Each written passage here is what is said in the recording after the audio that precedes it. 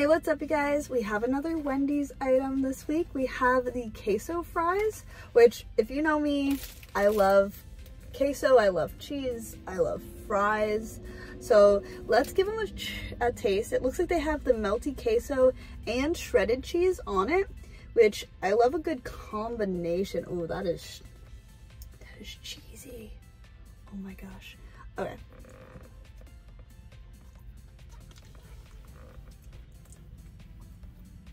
Oh my god.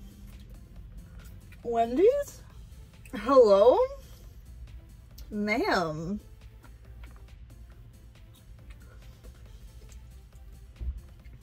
Oh gosh.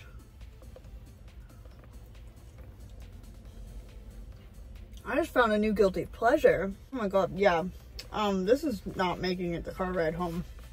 Uh, that's delicious.